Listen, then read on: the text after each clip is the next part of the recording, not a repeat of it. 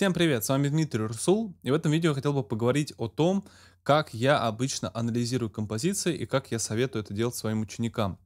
А, для чего вообще нужно анализировать композиции и какие композиции? Я а, в данном случае говорю в первую очередь о каких-то современных э, трендовых композициях, но не обязательно современных, то есть э, то, на что вы ориентируетесь. То есть любому, у любого, у начинающего музыканта, у профессионала всегда есть ориентиры, или есть то, что его вдохновляет, или он что-то услышал там по радио, какой-то новый хит, или какой-то старый забытый хит, и проанализировал его, и понял, что ему это нравится, что что-то его зацепило, и хочет подобного добиться в своих работах работах. Это есть у всех, у каждого, даже у самых э, именитых звукорежиссеров мира, с обладателей Грэмми и так далее. У всех есть свои идолы, свои кумиры.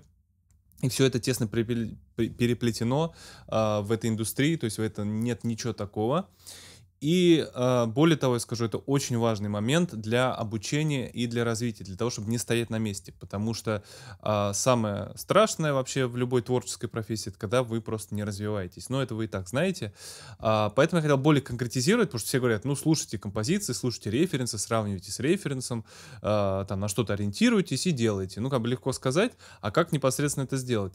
И я вот э, предлагал, предлагаю такую небольшой такой, скажем так, чек-лист, а, он кому-то будет более применим, кому-то менее применим, а, может быть, какие-то отдельные его элементы будут э, применимы только. Но я решил это все обозначить. А, собственно, у меня здесь расписаны основные моменты.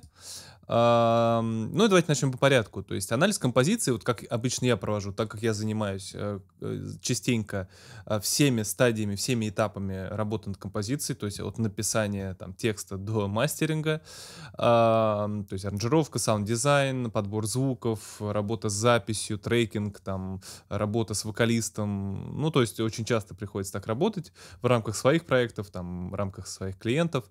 Я вот создал для себя вот такой вот чек-лист, как я слушаю какие-то композиции для того, чтобы вдохновиться, для того, чтобы э, ну, заиметь какой-то просто ориентир для конкретной работы. Итак, я начинаю с аранжировки, то есть я э, всегда анализирую, как сделана форма, но если мы говорим про поп-музыку, то, как правило, все там плюс-минус одинаковое, то есть форма уже избита давно, э, их там максимум одна, две, три штуки, и все они примерно друг на друга похожи. Вот это касается поп-музыки, то есть вот тот самый формат, радиоформат там от 3,5 до 4 минут, минут. Это вот та самая классическая форма с двумя куплетами, с тремя припевами, с бриджем, там, либо с проигрышем, там, вступление кода. Ну, то есть вы наверняка все это сами знаете. А, далее я анализирую гармонию, то есть я либо ее сам слышу, либо есть какие-то интересные э, ходы, интересные эм, какие-то подбор самих аккордов, то я обязательно это анализирую, пробую на слух подобрать, снять, э, чтобы просто это в своем багаже иметь, потому что когда ты где-то нужно что-то придумать, написать, и ты можешь какой-то ход один позаимствовать там с какого-то трека, но опять же э, в этом нет никакого плагиата для тех, кто сейчас об этом подумал, э, это абсолютно нормальная практика, и вообще нет гармонии на сегодняшний день, которой когда-либо кто-либо кто-либо еще не использовал. То есть, ну, их в принципе нету. То есть либо это что-то не музыкальное, что-то такое как какофоничное и ну, не предназначенное для широких э, масс, э, либо это уже было. То есть, ну, нет других вариантов, на этом можно просто поставить точку и двигаться дальше с чистой совестью. Другое дело, это все остальные элементы, то, о чем я всегда говорю, что э, в музыке самое главное это совокупность элементов и всех вот этих стадий, которые здесь представлены, то есть как они были сделаны, все решения, микрорешения, макрорешения на каждом из этих этапов, они выстраивают уникальное звучание. То есть даже если два трека похожи, из одного жанра, э, голос вокалистов похож в этих проектах, все равно они уникальные, все равно в них есть что-то самобытное в каждом из этих треков. И ни у одного человека не возникнет, что Ой, это я трек больше слушать не буду, когда есть этот трек, зачем мне тот слушать, когда есть этот. Все равно слушает оба. И, ну, это нормально. Поэтому на этом лучше не циклиться. Я знаю, очень многие начинающие на этом циклятся, что вот уже все сделано, уже все сказано, все написано, как же мне там показать себя. Вот, просто делайте то, что чувствуете. Все равно вы внесете, если вы будете этим прям заниматься от и до, внесете что-то от себя интересное, и слушатели это обязательно услышат. А, далее, я темп анализирую, ритм, ну, это такой, скажем так, стилистический, можно это назвать жанр, то есть я смотрю, что это там, рок, э, фанк, соул, э, какая-то смесь этого, какая-то новая электроника, ну, то есть что-то вот такое, я все это анализирую. А, туда, как правило, заложен темп, ритм, то есть там в урбане, в хип-хопе это какие-то определенные ритмы и темпы, там в роке, в инди, в попсе это там другие темпы и сам рисунок барабанов, то есть я это все анализирую, для себя отмечаю. То есть я такой себе в голове некие такие какие-то шаблонные делаю категории, э, и так или иначе к одному или к двум шаблонам я причисляю тот или иной трек. Это просто удобно для того, чтобы вообще ориентироваться, что происходит в мире музыки. А, также анализирую, как происходит развитие, то есть что удерживает меня послушать вообще трек до конца, то есть я его слушаю. Бывает такое, что мне уже хочется там на второй минуте уже переключить трек. Это тоже нормально.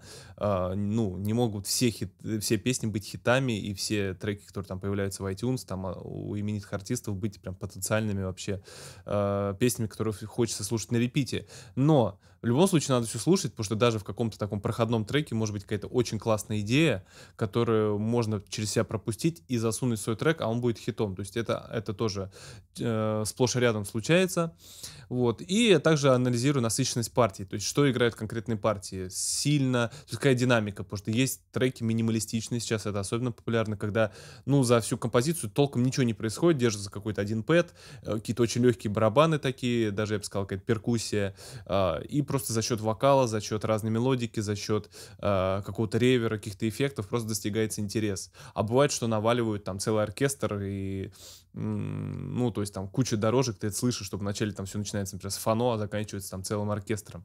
Вот, то есть это тоже один из вариантов решений. То есть анализируя все это, вы, э, опять же, это воспринимаете как свой такой багаж, как кирпичики, не знаю, там, из конструктора Лего, чтобы потом собрать что-то свое. Это абсолютно нормально.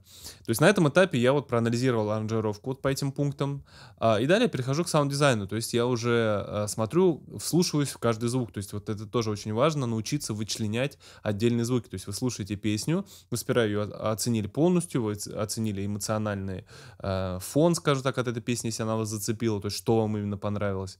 А, и далее вы уже переходите к деталям. То есть уже как профессионал, здесь как аранжировщик, как саунд-дизайнер, вы должны услышать, какие используются сэмплы для бочки, для снейра, какой, какие синтезаторы используются, или, может быть, живые инструменты, то есть как они сделаны, как они настроены. Если это гитара, то она чистая, или она с овердрайвом, или с овердрайвом, или она с дисторшеном, с каким дисторшеном, таким heavy metal или такой классический рок. То есть если вот эти все нюансы копаться, там на самом деле просто целая уйма вариантов, и все они а, могут быть использованы как какие-то кирпичики для ваших будущих треков.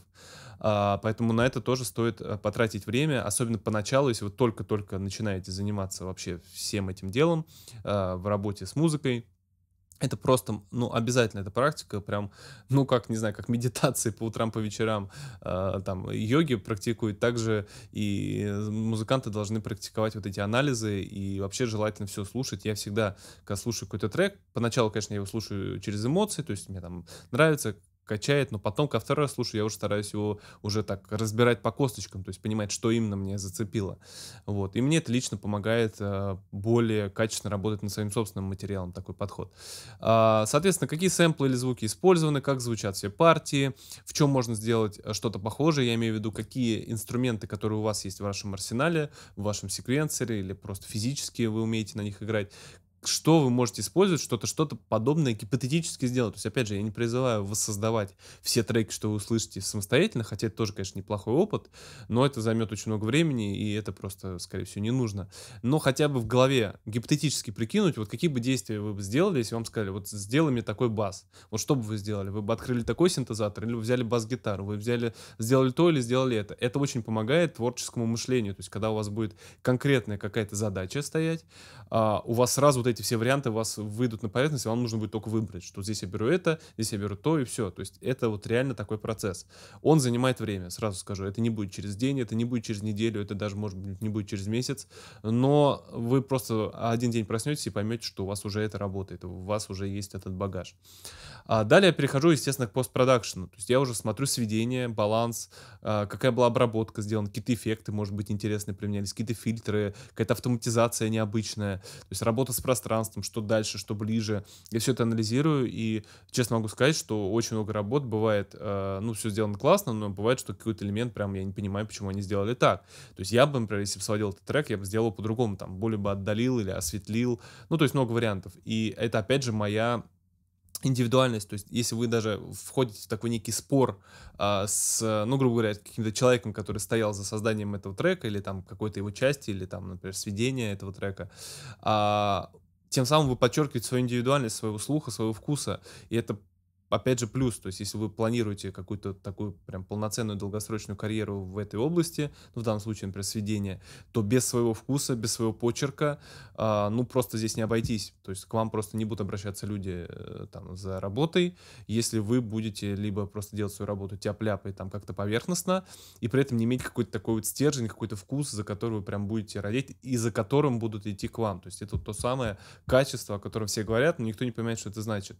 То есть это ваш ваше видение конкретное, ваше восприятие. Оно с кем-то может не совпадать. Это сплошь и рядом такое бывает. И можете посмотреть у звезд. Один альбом сводился одним человеком, следующий альбом сводится другим человеком. Это не потому, что тот чем-то облажался или он стал хуже слышать, там оглох, например.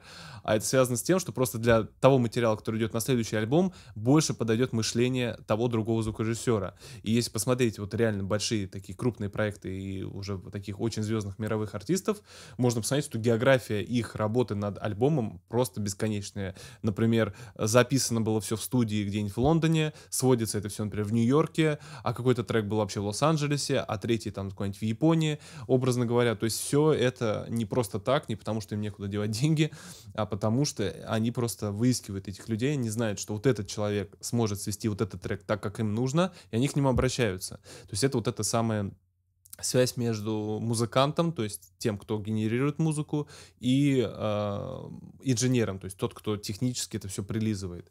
Это, ну, это отдельный тоже разговор, в принципе, но я думаю, что вы это сами понимаете прекрасно.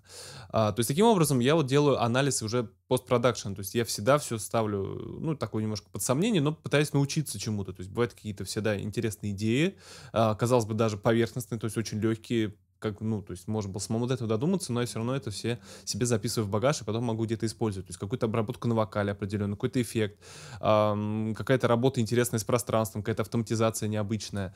То есть я все это себе тоже так в подсознание записываю, и потом, когда у меня непосредственно возникает какая-то ситуация, я все это опять вызываю откуда-то из своих чертогов разума, и у меня все это в реальном времени вот приходит, я начинаю сразу какие-то плагины запускать, я начинаю что-то экспериментировать, и у меня получается действительно интересный результат, и причем он может даже вообще отличаться от того, что я услышал в этом треке, от того, что у меня было в голове, получиться что-то вообще третье. Это тоже частая ситуация.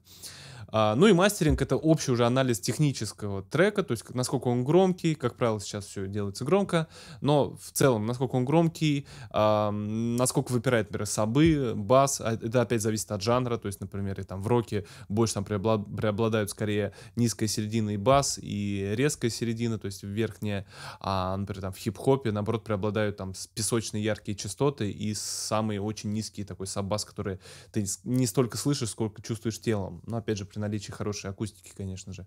А, то есть я это все анализирую, тоже для себя какие-то нюансы э, беру, смотрю, потому что бывает, что трек классно сведен, сделан, продакшн, но я слышу, что мастеринг прям пережат, то есть он прям передавлен, где-то прям бочка начинает бить, и вокал сразу пропадает, потому что лимитер все просто срезает э, вместе с бочкой. Э, то есть такие нюансы тоже обращаешь внимание и для себя решаешь, вот ты бы хотел бы так сделать, или ты бы сделал бы чуть-чуть лимитер другой, там, менее агрессивный, пускай трек будет чуть потише, но более дышащий. То есть, опять же, это вырабатывает твою индивидуальность. Э, твой взгляд вообще на музыку, на подход к работе. А опять же, если вы этим занимаетесь, э, ну, можно сказать, с таким же, э, хотя бы с таким же, э, с такой же отдачей, как у меня, то есть как вот я прям фанат своего дела, ну или даже если вы просто хотите это освоить для каких-то промежуточных этапов, все равно я вам рекомендую э, проводить хотя бы частично какие-то такие анализы композиции, которые вам нравятся.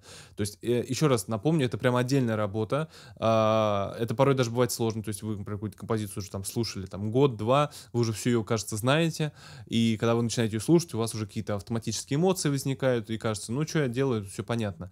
Но на самом деле, если вы прям вот, вот абстрагируйтесь от этого и начнете прям вот, я хочу слышать только бочку, и вы слушаете трек, но вы слышите только бочку, вы не слышите ни вокалиста, вы не слышите текста, вы не слышите инструменты, вы только бочку слушаете. И бывает такое, что, о, так там она, оказывается, в этой части играет там не четвертями, а там какой-нибудь сбитый ритм, а я как-то это особо и не обращал на это внимания. То есть и таких нюансов очень много. А, то же самое касается прослушивания на разном оборудовании, то есть вы, опять же, если это касается мастеринга, а, вы можете послушать, например, на там в машине трек хорошо звучит, там, например, где-нибудь на затычках он звучит там как-то очень резко, такое бывает. То есть это все нужно тоже проанализировать и понять, то есть чтобы для себя какие-то решения в дальнейшем а, более четко а, формулировать, скажем так, то есть при работе над вашим материалом.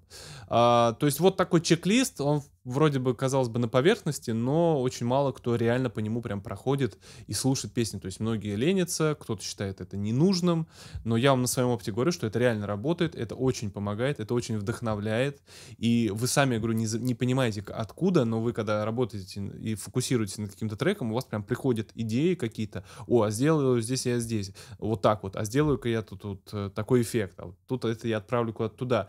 И вот когда ты садился за вообще за сессию, открывал только там секвенсор, ты даже не мог предположить, что тебе такая идея придет в голову. И ты в итоге закрываешь сессию с удовлетворением, что ты это сделал, и звучит просто офигенно. Поэтому оно того стоит, и это все вот как раз-таки благодаря вот такой вот подготовительной работе. Ну что, на этом у меня все. Увидимся с вами а, в следующих видео. Всем успехов в, твор- творчестве. Если у вас остались какие-то вопросы или какие-то пожелания, э, или своя, может быть, э, ваш метод, как вы анализируете композиции, обязательно пишите в комментариях. Я с удовольствием прочту. Ну а мы с вами увидимся в скором времени. Всем пока.